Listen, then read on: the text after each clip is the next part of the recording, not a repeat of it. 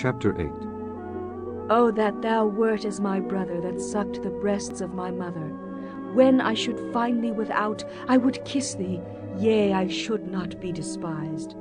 I would lead thee and bring thee into my mother's house, who would instruct me. I would cause thee to drink of spiced wine, of the juice of my pomegranate. His left hand should be under my head, and his right hand should embrace me.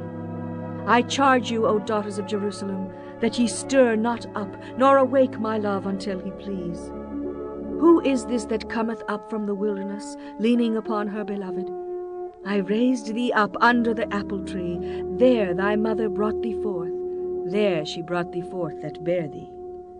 Set me as a seal upon thine heart, as a seal upon thine arm, for love is strong as death, jealousy is cruel as the grave.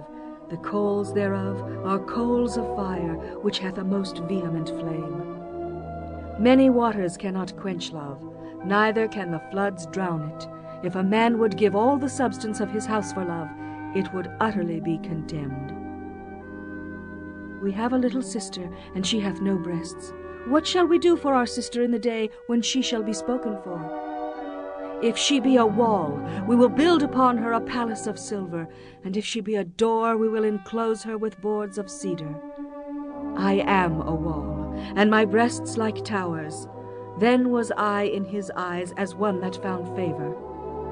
Solomon had a vineyard at Baal Hamon. He let out the vineyard unto keepers. Every one for the fruit thereof was to bring a thousand pieces of silver. My vineyard, which is mine, is before me. Thou, O Solomon, must have a thousand, and those that keep the fruit thereof two hundred. Thou that dwellest in the gardens, the companions hearken to thy voice. Cause me to hear it. Make haste, my beloved, and be thou like to a roe or to a young hart upon the mountains of spices.